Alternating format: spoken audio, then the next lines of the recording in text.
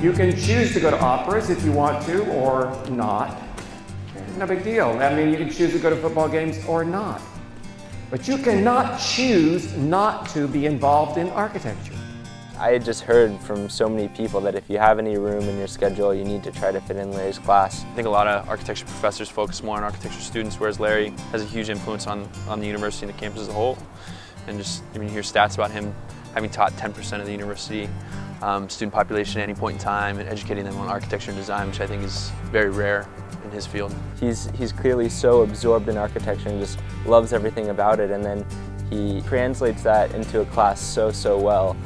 It's not possible. You will, through your entire life, be embraced in, will be consumed in architecture.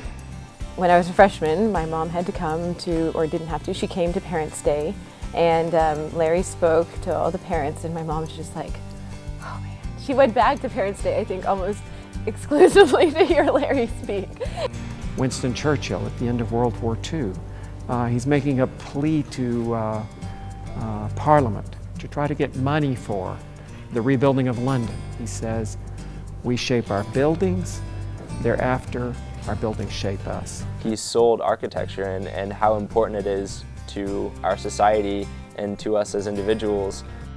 Uh, Larry's philosophy is that he's, he's all about people and he's all about um, the broader sense of, of being an architect and being in society. And it's not just um, the lines on paper and the design. It's, uh, it's, it's about people and their lives. So if you don't know something about it, it's not just, well, I chose not to be interested in that, but it actually is a void that's left in the potential of what, what your interests in your life could be. He really crafts his class as if it was a, was a design and not just a lecture. So we run into each other at the gym all the time and you'll see him walk in with a book and his face is just smushed between the pages and you have to kind of, you know, shake him to, to get his attention. Last time he was my teacher was um, 27 years ago, but I still feel his presence in my profession today.